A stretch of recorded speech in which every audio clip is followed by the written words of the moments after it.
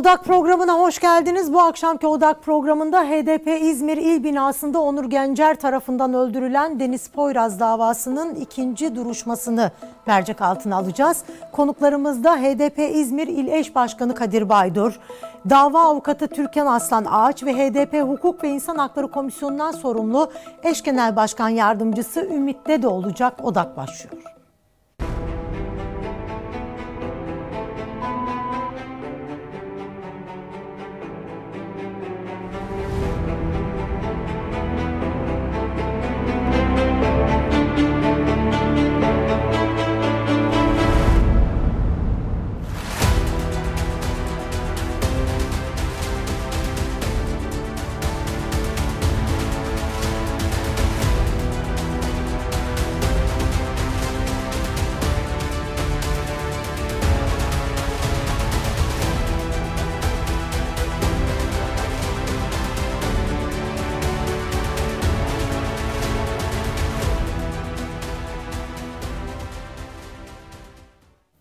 HDP İzmir İl binasında Deniz Poyraz'ı katleden Onur Gencer'in yargılandığı davanın ikinci duruşmasını öncelikle HDP İzmir İl Eş Başkanı Kadir Baydur değerlendirecek. Kendisi e, telefon attığımızda daha sonra da diğer iki konuğumuzla devam edeceğiz. Sayın Baydur hoş geldiniz yayınımıza. Merhabalar, hoş bulduk. İyi akşamlar. Ee, siz de bu duruşmada tanık olarak dinlendiniz. İkinci duruşma nasıl geçti, neler vardı? Özellikle Onur Gencer'in ifadeleri nasıldı size göre? Evet, ee, öncelikle tanık olarak değil müşteki sıfatıyla katıldım. Müşteki sıfatıyla. Ee, aynı zamanda kurum temsilcisi olarak katıldım. Ee, evet, bugün e, davanın ikinci duruşması yapıldı. Ee, sanık, katil sanığın e, tamamen e, ifadesi aslında çalışılmış bir ifade, üzerinde çalışılmış bir ifade. Arka planı e, olduğu gibi açık, ortada e, belli. Organizeli ve örgütlü bir katliam girişimi olduğu e, çok açık. Hem kendi ifadesinde hem duruşunda hem de iddianamede tabii ki. E, biz de hem katilleri e, hem de katili ve katilin e, arka plandaki güçleri ortaya çıkarmak üzere e, e, salonda bulunduk. E, İzmir'de emekten yana, demokrasiden yana olan bütün güçlerle beraber salonda bulunduk. E, buna yönelik e, hem yaşadıklarımızı hem de e, aslında e, HDP'ye karşı nefret dilini kullanan siyasi odakların e, buna zemin hazırladığını, e, tabii ki en başında e, bir yıla e, aşan bir e, süredir elimizin önünde duran bir çadır e, durumu var. Bu çadırın da buna zemin hazırladığı. Bütün bunları mahkemede anlatmaya çalıştık, anlattık. Tabii ki e, Nisan'da devam edecek üçüncü duruşmasında da e, yine avukatlar bu konuda hukuki olarak e, müdahil olacaklar, e, sorularını soracaklar katip sanığa. E, buna yönelik de duruş, e, biz de e, yine kurum temsilcileri ve müştekiler olarak Nisan ayında yapılacak duruşmada buna yönelik sorularımızı katip sanığa soracağız. Arka plandaki güçleri ortaya çıkaracağız. Evet planlı bir saldırıydı dediniz e, ve o e, HDP İzmir İl binasının önündeki çadırdan bahsettiniz. Yani aslında bu katliam size göre sadece Onur Gencer'in uzun zamandır planladığı değil aslında e, iktidar odaklarının planladığı bir katliam mı? Evet e, şöyle ki mahkeme salonunda da söyledik. Her gün HDP'ye nefret dilini kullanan, e, terörize eden, öldürülmesi gereken haşere olarak tarif eden güç odakları en hafif deyimiyle buna zemin hazırlamıştır. Ama katliamın çok planlı, organizeli ve süre içerisinde e, planlanmış, e, keşif yapılmış e, bir katliam olduğu da çok açık kendi ifadesinde de ben oraya e, kanlı bir baskınlığa geldim diyor katil. katil. E, oraya en az bir 10 kişi öldürmeye gelmiş. Kimseyi bulamayınca o hırsla e, yukarılara çıkmış e, yine kendi ifadesiyle bir saat tam bir saat içeride kalmış ki bizim de tespitimiz o yönde bir saat içerisinde de herhangi bir müdahalede bulunulmamış. E, bütün bunlar aşikar ortadayken hem politik anlamda hem hukuki anlamda e, bizim mücadelemiz bunun arka plandaki güçleri e, deşifre etmek, ortaya çıkarmak ve bunun üzerinden de bundan sonra e, en azından HDP'ye, demokrasi güçlerine, demokratik muhalefete yönelik e, katliam girişimlerini önleme çabamızdır. Evet Sayın Kadir Baydur çok teşekkürler yayınımıza katıldığınız için. Ben teşekkür ederim. İyi akşamlar. İyi akşamlar. HDP İzmir İl Binası'nda Deniz Poyraz'ı katleden Onur Gencer'in davasının ikinci duruşması görüldü. Şimdi dava avukatlarından Türkan Aslan Ağaç Skype hattımızda. Türkan Hanım hoş geldiniz yayınımıza. Hoş bulduk Ezu Hanım sağ olun. Ee, şimdi biz sizinle Aralık sonunda ilk duruşmanın e, ardından bir yayın yapmıştık. Bugünkü duruşmada da aslında orada yaşananların neredeyse aynısı yaşandı. Nasıldı ikinci duruşma size göre ve e, Onur Gencel'in özellikle ifadelerini nasıl buldunuz? Ee, şimdi bugün biliyorsunuz evet ikinci duruşma yapıldı. Ee, ilk duruşmadan farklı olarak İzmir Altı Ağır Ceza Mahkemesi kendi duruşma salonunda e, duruşma yaptı.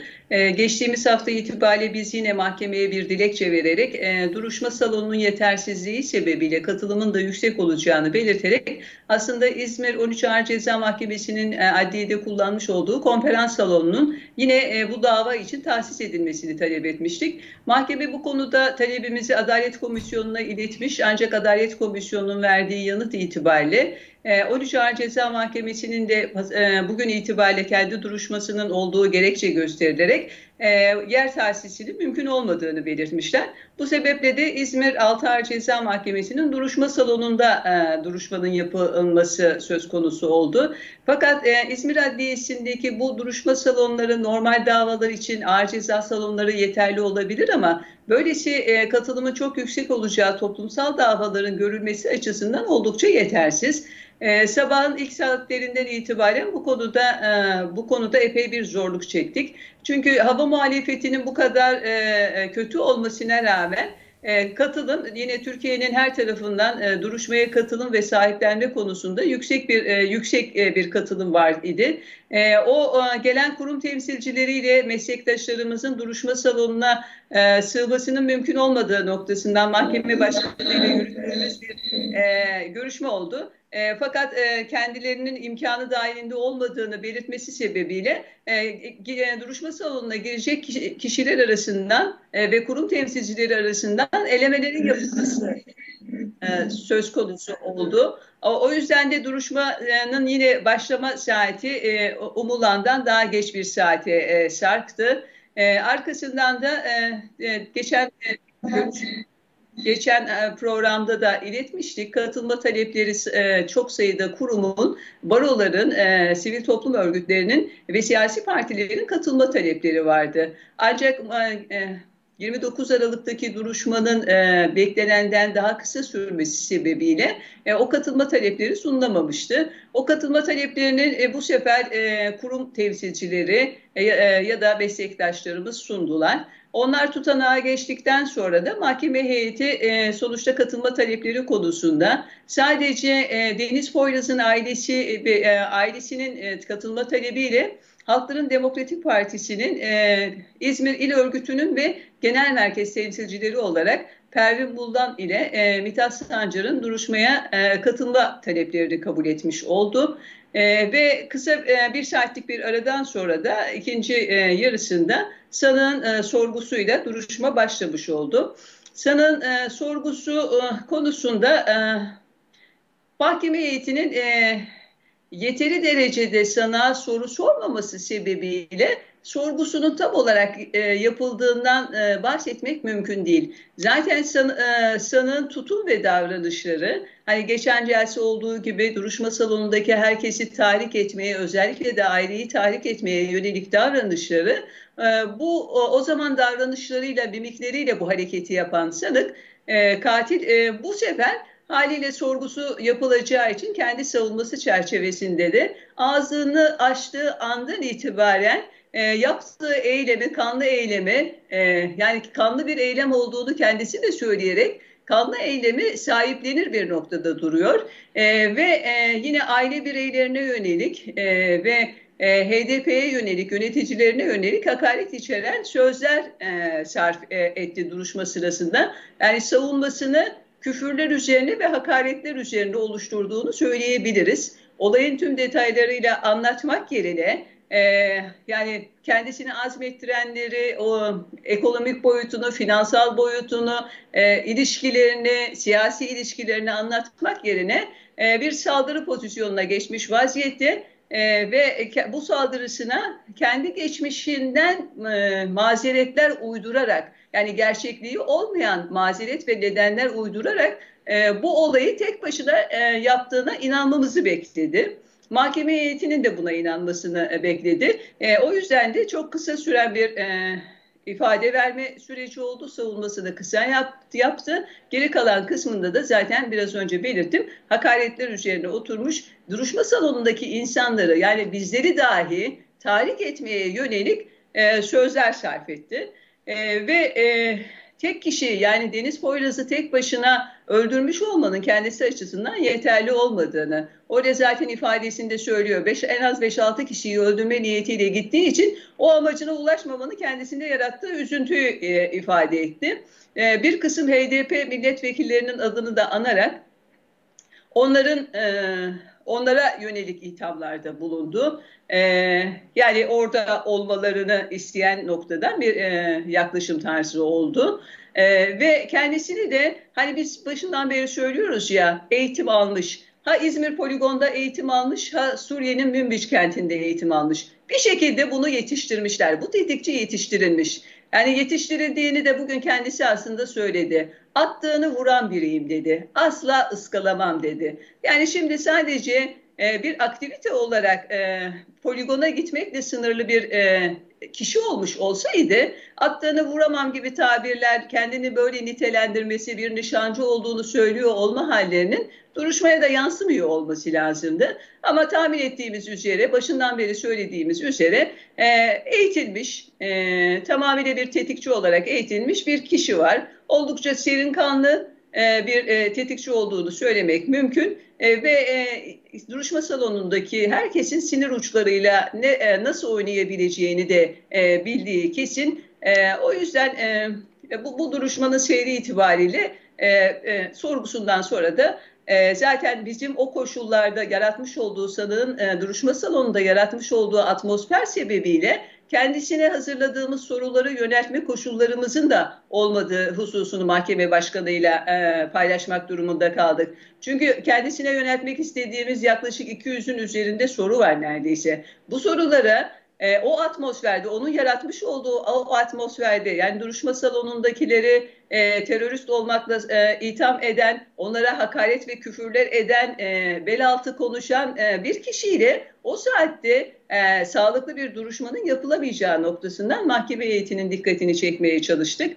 E, mahkeme heyeti e, bu, bunun üzerine e, duruşmanın dışında hazır olan bir kısım tanık e, daha önce e, çağırmış olduğu hazırlık soruşturması e, sırasında ifadesi alınan bir kısım e, kişinin tanığın ifadesine e, başvurma yolunu tercih etti. O yüzden biz soru sorma hakkımızı önümüzdeki celseye bırakmak durumunda kaldık. Sağlıklı yürüyemeyeceği için. Bir kısım tanık dinlendi. O gün itibariyle iş merkezinde bulunan bir kısım tanığın ifadesine başvurulmuş oldu. diğer tanıkların ifadesine de önümüzdeki hem sanığın doğrudan bizim tarafımızdan sorgulanması hem de diğer tanıkların sorgulanması noktası da önümüzdeki 29 Nisan'daki duruşmaya bırakılmış oldu. Şimdi 29 Nisan'daki duruşmaya bırakıldı ama avukatların sizin de içinde bulunduğunuz avukat grubunun bir e, ifadesi yansıdı basına e, duruşmadan.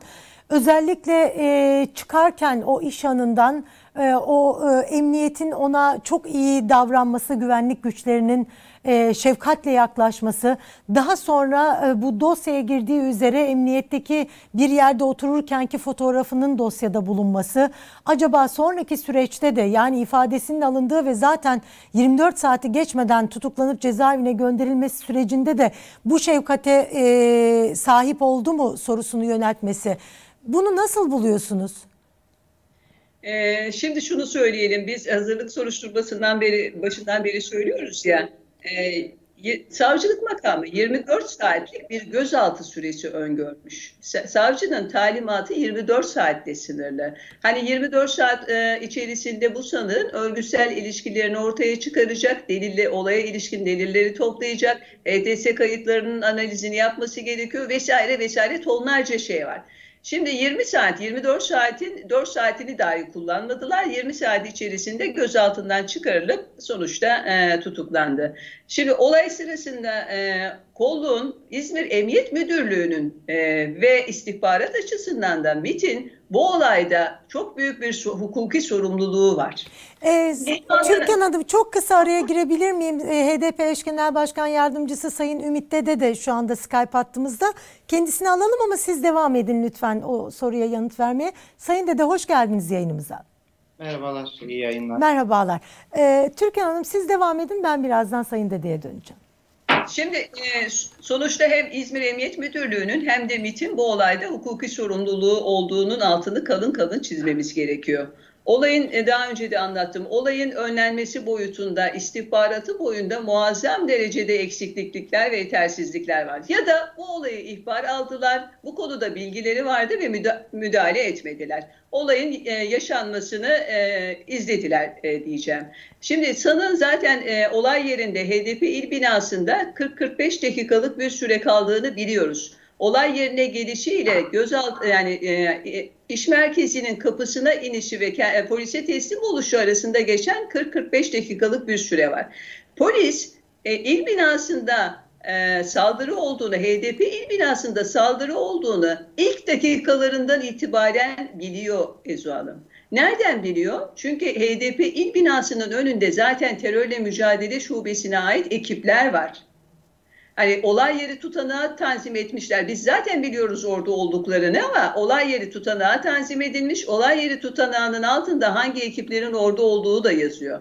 Şimdi, e, aynı zamanda da güvenlik şubeye ait resmi polislerin olduğu bir yer. Çünkü o güvenlik çadırı orada olduğu için ayrıca resmi polislerin olduğu bir yer. Şimdi elini kolunu sallayarak e, il binasına giriyor girdiğini, çantayla girdiğini, öyle garip bir kişinin girdiğini kolluk mensupları zaten görüyorlar. Yani iş merkezinin kapısının genişliğini düşünün. Her iki yanında kafeler var. Her iki e, yandaki kafelerin o şu an gördüğümüz kapının her iki yanındaki masalarda oturuyor bu polisler.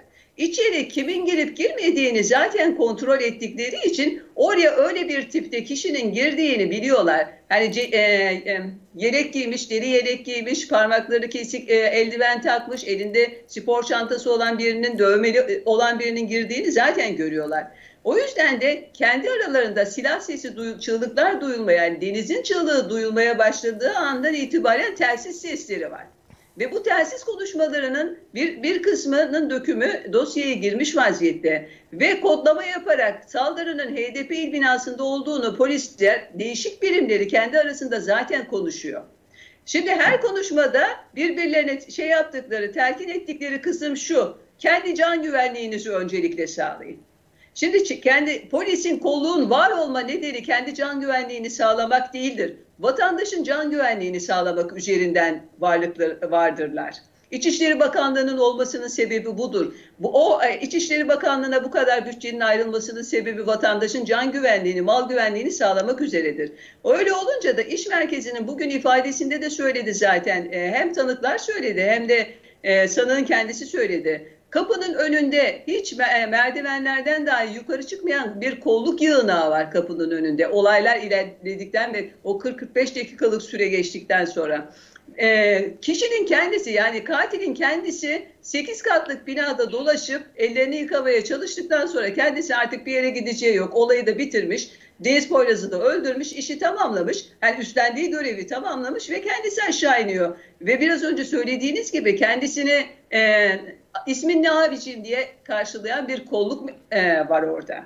Öyle olunca da e, burada emniyetin hani e, bu işte e, emniyetin ve istihbaratın hukuki sorumluluğunun altını kalın kalın çizmemiz lazım. Yani sanın hiçbir e, örgütle, hiçbir yapıyla ilişkisi olmasa bile e, devletin içerisine çöreklenmiş, e, yani daha önceki siyasi cinayetlerde gördüğümüz gibi devletin içerisine çöreklenmiş yapılarla karanlık yapılarla, o suç örgütleriyle ilişkisi olduğu muhakkak. Evet. İsterdi ve bu, bu e, bunu bu saldırıyı önlemek oldukça kolay olurdu. Evet. Sayın Dede tekrar hoş geldiniz yayınımıza. Hoş bulduk. Sayın Türkan Aslan Ağaç dedi ki e, katil Onur Gencer e, mahkemede savunma yapmak yerine yine saldırıyı tercih etti. Bu kadar açık bir katliamın faili olan bir e, kişi var mahkeme salonunda. E, savunma yapmak yerine saldırıya e, geçme cesaretini hangi güçlerden alıyor size göre?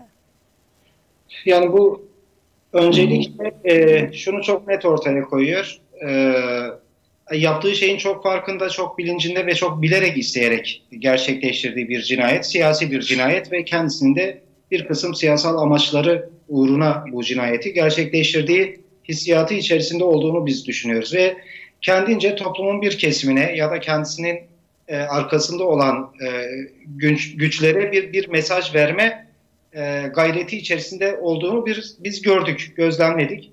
Tabii bir yönü budur. Kendisi bir kahraman olarak görüyor ya da kendisi bir kahraman olarak tanımlanmasını istiyor muhtemelen. Dolayısıyla orada pervasızca e, aileye karşı, salonda bulunan e, avukatlara, bizlere karşı da bu, bu perva, pervasız tutumun sahibi olmasının e, bir yönü budur. Fakat diğer bir yönü, bence asıl önemli olan yönü, bu, bu olayın en başından beri biz sadece Onur Gencer tarafından işlenmediğini çok iyi biliyoruz. Yani bakın bugün örneğin e, tanık taksiciler dinlendi. Son 3 aylık sürede taksiyle sürekli bir seyahat halinde olduğu ve bu e, son katliama giderken yaşam biçiminin son 3 ayda gerçekleştiğini, e, hani değiştiğini, bol, bol para harcayan, e, işte lüks otellerde kalan bir, bir yaşam biçimi özellikle son 3 aya damgasını vuruyor ve bunun bir boyutu da e, sürekli taksiyle e, bir yerlere seyahat ediyor olması. Aynı durumu biz Konya katliamı davasındaki katilde de görüyoruz. Bunun bir rehabilitasyon, bir rehabilite etme süreci, e, bu katliama hazırlanma süreci olduğunu da düşünüyoruz. Çünkü katil bu kadar organize bir işi yaptıktan sonra elbette duruşma salonu e, içerisinde avukat arkadaşlarımızın, meslektaşlarımızın büyük gayreti neticesinde yine yaptıkları e, araştırma ve incelemeler neticesinde kendisini destekleyen bu katliamın arka planında gerçek anlamda bulunan faillerin açığa çıkmasını engellemek adına da böyle bir tutum içerisinde olduğunu ben düşünüyorum. Yani gerçeği anlatmaktan, e, ifade etmekten kaçmak adına kendince kurduğu hayali bir dünyada işte kendisini bir kahraman olarak tanımladığı ve Deniz Poyraz arkadaşımızın da gerçekten onun nezdinde e, katledilmesi gereken, öldürülmesi gereken bir kişi olduğuna dair bir profil çizmeye çalıştı. İfade ettiğim gibi bu bir taraftan bu 3 aylık rehabilitasyon sürecinde inandırıldığı veya kendisini e, inanmakla iyi hissettiği hususların bir, bir devamı niteliğinde. Ama bir yönüyle de bu siyasi cinayetin, bu ırkçı cinayetin arka planının anlaşılamaması için, onun üstünü örtmek için yarattığı e, bir tavır olduğunu, yani profesyonelce geliştirilmiş bir tavır olduğunu düşünüyorum bir taraftan da. Hem aileyi hem bizleri provoke eden e, pervasız tavrının arkasında ben açıkçası e, ayrıca gerçeğe ulaşılmasını engelleme çabasının e, bir tezahürü olarak da değerlendiriyorum e, kahraman gibi görüyor kendisini dediniz ama bir yandan da kendisini kusurlu bir kahraman olarak görüyor. Şöyle bir pişmanlığı var. Keşke 5 dakika geç gitseydim de e, daha büyük katliamlara imza atabilseydim şeklinde. E, bu hakikaten hani e, bir güce dayanmadan söylenebilecek sözler olduğu kanaatini taşımıyor hiç kimse, bunu duyan hiç kimse. Şimdi bu sözleri buna söyleten bir güç var belli, bu çok açık. Peki 5 dakika sonra oraya daha fazla insanın geldiğini ya da geleceğini nereden biliyor Onur Gencer? Yani bu kendi ifadeleri de yansıdı fakat e, Türkan Hanım da daha önce e, yaptığı açıklamalarda da ifade etmişti. E, savcılık ifadeyi çok üstün körü alıyor. Yani aslında sorulması gereken birçok konu, birçok husus sorulmuyor. Dolayısıyla savcılığın bilerek isteyerek karartmaya çalıştığı bir soruşturma süreciyle biz karşı karşıyayız.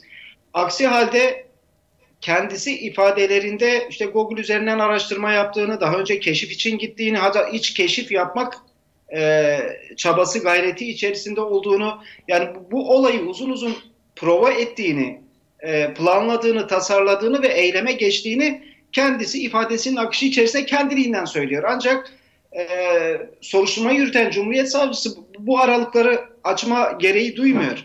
Nasıl hazırlandın, nasıl gittin, e, işte keşif yaptığın esnada nelere dikkat ettiğin gibi hususları belirtmiyor. Fakat o kendisi kendiliğinden yaptığı araştırmayı belirtiyor ve muhtemelen sadece kendi başına değil, yalnız hareket eden biri değil.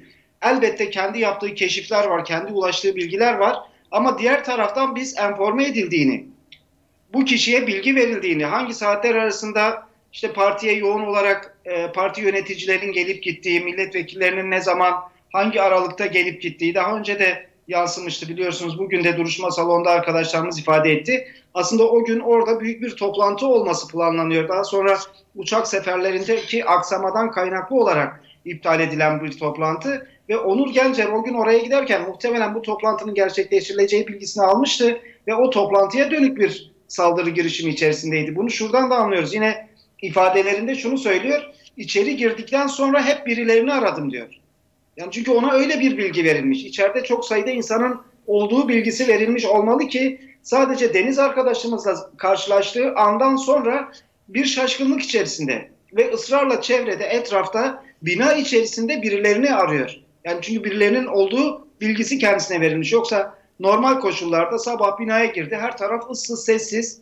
Sadece bir arkadaşımız orada. Onu da gördüğü anda katlettiğini bugün e, ifadesinde belirtti. Yani bu duruma rağmen ısrarla birilerini araması bizce, bence içeride birileri olduğu bilgisini çok net bir şekilde kendisine verilmiş olmasıyla ilgilidir diye düşünüyorum. Bugün de ifadesinde soğukkanlılıkla belirtti.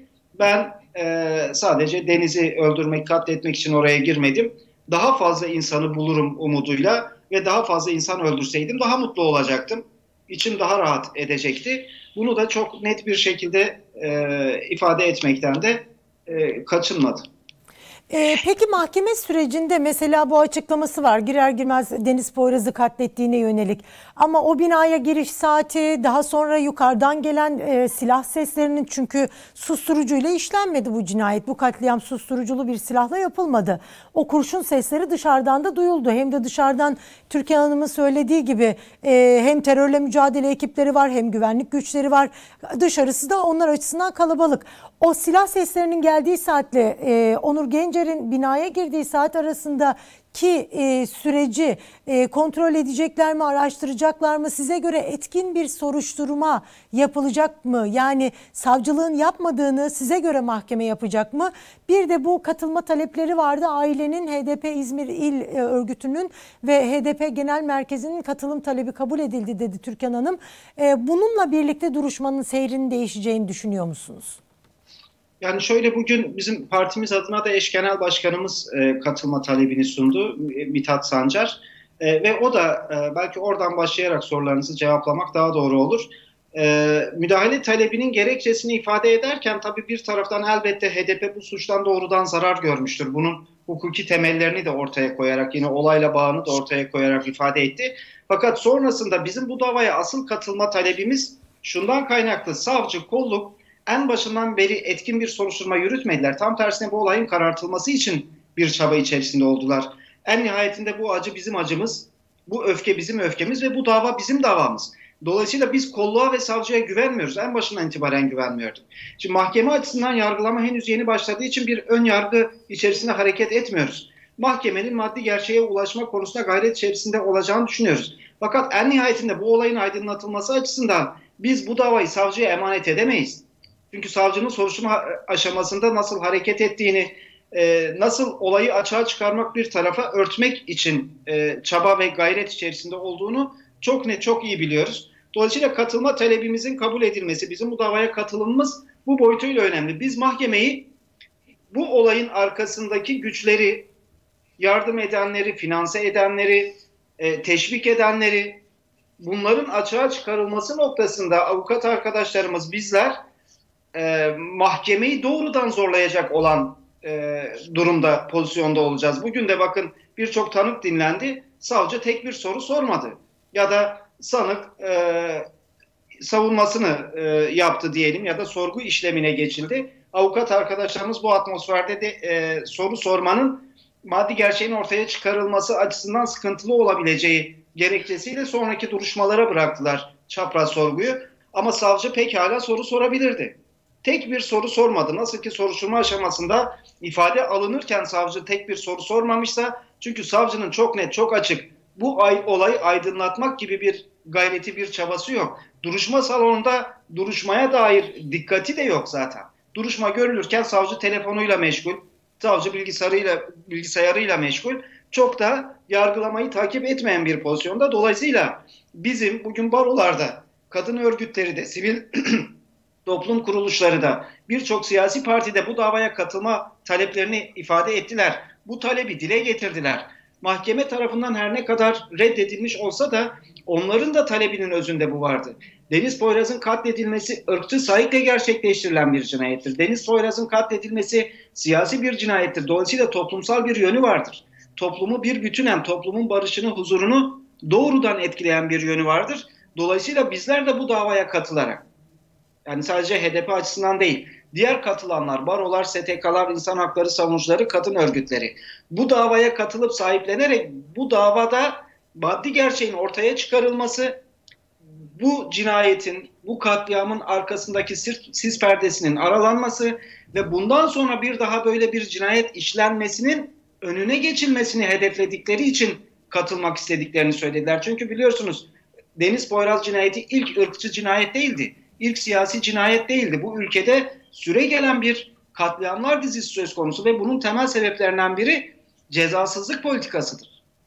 Dolayısıyla elbette barolar, elbette sivil toplum kuruluşları, elbette insan hakları kurumları böylesi davalara katılarak savcıların aslında yapması gereken ama yapmadıkları görevi görmek suretiyle gerçeğin aydınlatılması, açığa çıkarılması için çaba sarf etmek istiyorlar. Ve elbette bizlerin yani HDP olarak bizim katılma talebimiz kabul edildi. Yine HDP'li yönetici arkadaşlarımızın ve ailenin katılma talebi kabul edildi.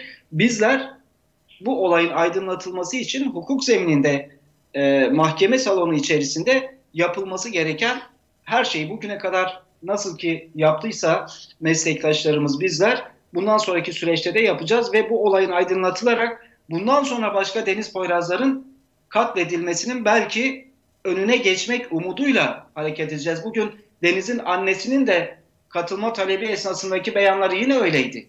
Benim yüreğim yandı, hiçbir annenin yüreği yanmasın istiyorum diyor. Ve bu davada adalet yerini bulsun ki başka annelerin yüreği yanmasın dedi. Bu bu yönüyle, bu boyutuyla önemli. Ee, hani şu ana kadar da e, gerçekten çok ciddi bir emek var, sahiplenme var. Bundaki sonraki süreçte de bunun e, devam edeceğini söyleyebilirim. Evet. Sayın Türkan Aslanay size de son olarak sormak isterim. 29 Nisan 3 ay gibi bir süre var önümüzde. E, bu kısa vadeli duruşmalar bir yandan da e, tüm katılımcılar açısından şöyle bir soruya yol açıyor mu size göre? E, çabucak tıpkı 24 saat dolmadan tutukladıkları gibi çabucak bu davayı sonuçlandırıp herhangi bir adaletin tecelli etmesine imkan vermeden kapatmak isteniyor olabilir mi? E, ilk sorun bu. İkincisi de bir anne benim evladım gitti başka evlatlar gitmesin diyor. Bir katil aman ben bir tanesini öldürdüm keşke daha fazlasını öldürseydim diyor. Bu toplumsal ortamda e, nasıl bir dayanışmayla yol yürümeyi düşünüyorsunuz bundan sonrasında? Ya ben öncelikle şuradan başlamak isterim izin verirseniz. Buyurun. Ee, şimdi HDP'nin e, HDP'nin katılma talebiyle ailenin katılma talebinin kabul edilmesi zaten rutinde olması gereken. Çünkü olaydan bizzat doğrudan doğruya zarar gören noktasında duruyorlar. Ancak e, zaten soruşturma sürecinde de e, HDP adına ve aile adına bu soruşturma sürecini de yürütmüş idik biz. E, bugün aksine o, e, mahkemenin yapması gereken şuydu e, özellikle baroların katılma talebi konusunda ve HDP'nin bileşeni olan siyasi partilerin aynı zamanda da kadın cinayeti olması sebebiyle kadın örgütlerinin müdahale talebinin kabul ediliyor olması lazımdı. Yani bir hukuk devletinde olması gereken ve beklenen buydu aslında. Mahkeme yargının, e, Yargıtay'ın e, iştahatlarına, e, bölge e, bölge adliye mahkemesinin iştahatlarına dayanarak o talepleri reddetti. Sadece doğrudan doğruya zarar gören, bizzat zarar gören taraf olarak aile ve HDP'nin katılma talebini uygun buldu ve kabul etti. Bu açıdan eksik bulduğumu, bu duruşmada mahkeme heyetinin tavrını ve bu kararını eksik bulduğumu, hukuka da aykırı olduğunun altını çizmek isterim. Ee, bir önce onu e, söyleyeyim. Ee, ilk sorunuzdan da e, ilk e, bölümde sorduğunuz soruda da şunu e, eksikliği e, görüyorum. O, yani kendi açımdan onu açıklamadım. Şimdi emniyette çek, e, çekilmiş e, sana ait bir fotoğraf var. Evet. Biz soruşturma aşaması içerisinde de o fotoğrafı zaten görmüş. E, Aslında ilk yaptığımız basın toplantısında da o hususun e, altını çizmeye çalışmıştık. E, Fakat basının herhalde dikkatinden de kaçmış. Bugün tekrar mahkeme salonunda gündemleşmiş olması sebebiyle hatırlatmakta fayda var. E, 20 e, 20 saatlik gözaltı sürecini sanığın kendisi İzmir Terörle Mücadele Şubesi'nin nezarethanesinde geçirmiş değil. İzmir e, Terörle Mücadele Şubesi'nin bulunduğu binanın yani kolluğun, e, müdürlerin bulunduğu üst e, katlarındaki dairelerinde ifadesi yani o, o bölmelerde ifadesi alınmış. Onu nereden çıkarıyoruz? Sonuçta katilin e, katilin fotoğraf verdiği ve o fotoğraf üzeri- üzerinden tanıklara soru yönelterek, göstererek soru yönelttikleri ve e, teşhis et- e, etmesini istedikleri fotoğraf o o odalardan birinde çekilmiş bir fotoğraf. Ve o yüzden de yani rutinde vatandaşın alınıp e, bodrum katında olan nezarethanesine koydukları yani milyonlarca insanı alıp e, İzmir'deki insanları alıp Türkiye'nin orasından burasından insan getirdiklerinde alıkoydukları yerde 24 e, 20 saat bile e, katili tutmamışlar. O yüzden müdürler kendi odasında ya da amirler kendi odasında bu işlemlerin, ifade alım işlemlerinin vesairesini hepsini yapmışlar. Ee, şimdi bütün vatandaşlara eşit muamele yapılmış olsa ve bütün vatandaşlar aynı koşullarda ifadeleri alınmış olsa buna bir itirazımız yok. Elbette ki katil de olsa e, e, yani hukuk devletinde yani sonuçta bir hukukçuyuz. Onun da hakları var. E, o haklarının kullan, kullanılması e, en doğal hakkı. Fakat e, İzmir Emniyet Müdürlüğü'nün vatandaşlar arasında böylesi bir ayrım yapması, yani siz e, sadece katilleri e, alıp eğer e, müdürlerin, amirlerin odasında işlemlerini görüyorsanız o zaman bütün e, vatandaşların işlemlerinin aynı konforlu ortamlarda gerçekleştirilmesi lazım. Ama bir katile eğer bu mu- muameleyi yapıyorsanız o zaman burada e, bu katilin arkasındaki güçlerin ne olduğu konusunda bize ipuçları verdiği noktasından yorum yapmamıza neden olacak davranışlar bunlar. Yani kapının önünde ismin ne abiciğim dedikten sonra emniyetin de üst katlarında ağırlıyorsanız, konforlu bir ortamda işlemlerini yapıyorsanız haliyle bunu söyleme hakkına sahip oluyoruz. E, onun altını çizeyim. E, şimdi evet 29 Aralık'ta e, 29 e, Nisan'da duruşması olacak. E, duruşmanın ilk etapta zaten hatırlarsanız 29 Aralık'ta olan duruşmayı mahkeme hemen 4-5 gün sonrasına vermeye e, kalktı. Ancak o süre içerisinde böylesi toplumsal davalarda Türkiye'nin her yerinden gelen kurum ve kuruluşların e, dörder günlü, beşer günlü aralı duruşmalarla e, dosyaları sahiplenmesi, davaları sahiplenmesinin mümkün olmayacağını herhalde mahkeme heyeti de biliyordur. O yüzden de ona itiraz etmiştik ve 24 Ocağı aldırmıştık o duruşmayı. E, bu sefer e, sonuçta mahkemenin kendi yoğunluğu da var. E, o e, kendi yoğunluğunu da gözeterek 29 e, bizim de duruşma takvimimize de bağlı olarak 29 Nisan'a duruşma günü verdi. Bu e, verilen aralığın e, normal rutin olması gereken bir aralık olduğunu söylemek mümkün. Hani hazırlanmak açısından da sonuçta bu bir ceza yargılanması. O ceza yargılanmasına hazırlanmak açısından da yeterli ve makul bir süre olduğu kanaatindeyim. Ama onun ötesinde e, seri bir şekilde bir hafta içerisinde ya da iki hafta içerisinde sıkır, sıkıştırılmış e, duruşmaların maddi gerçekliği ortaya çıkarmaktan ziyade usulü işlemlerin yapılmasına hizmet ettiğini düşünüyorum. Bunun en e, en iyi örneği de zaten Ankara'da görülen e, Kobani davası. Kobani davasında iki haftalık periyotlar içerisinde bir duruşma e, yürütmeye e, çalışıyor mahkeme heyeti. E, ve özellikle de katılımın e, düşürülmesi açısından ve usulü işlemleri yapma açısından bir e, tarzı var. Ee, onun bu e, duruş yani Deniz Poyraz'ın ve HDP ile yapılan saldırı noktasında bu dosyamızda e, yapılması e, yapılması söz konusu değil. Mahkemenin de bu niyette olduğu kanaatinde e, değilim. En azından şu anki pratikleri itibariyle böyle bir ithamda bulunmak yanlış olur. E, yani sonuçta kendi e, yoğunlukları var. O yoğunluk takviminde de e, şu an verilen duruşma e, tarihi itibariyle makul bir tarih olduğunu söyleyebilirim. Şimdi 29 Nisan itibariyle e, duruşma var.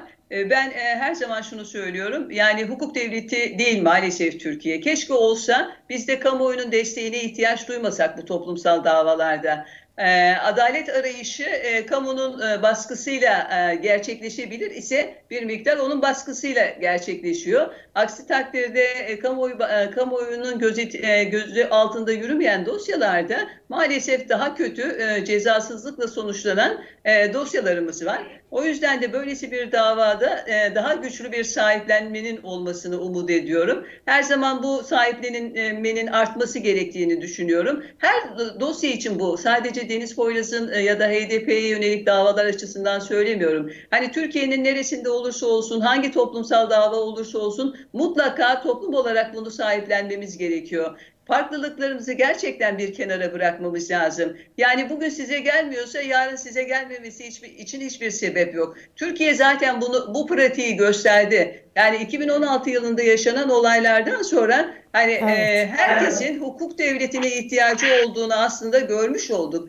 Bu sebeple de e, hepimiz açısından bir teminat, e, dayanışmak zorundayız. Yani buna e, ihtiyacımız var. Ta ki demokratik bir hukuk devletinde buna ihtiyaç duyulmayıncaya kadar. O yüzden 29 Nisan'da da daha güçlü bir katılım ile e, yani baroların, hukuk kurumlarının, kadın örgütlerinin, e, sivil toplum örgütlerinin ve siyasi partilerinin e, hepsinin e, duruşma yani İzmir Adliyesi'nde olmasını ve bugün olduğu gibi bizim de dayanışma içinde olmalarını e, talep ettiğimi söyleyeyim. Böyle bir çağrım olmuş olsun. Sayın Türkan Aslanlar, Sayın Ümit Dede çok teşekkürler yayınımıza katıldığınız için. Ben teşekkür, teşekkür ederim. ederiz. İyi yayınlar. İyi yayınlar. İyi akşamlar. Bu akşam Odak programında Deniz Poyraz'ı HDP İzmir İl binasında katleden Onur Gencer'in davasının ikinci duruşmasını mercek altına aldık. Konuklarımızda HDP İzmir İl Eş Başkanı Kadir Baydur, dava avukatı Türkan Aslan Ağaç ve HDP Hukuk ve İnsan Hakları Komisyonu'ndan sorumlu Eş Genel Başkan Yardımcısı Ümit Dede'ydi. İyi akşamlar.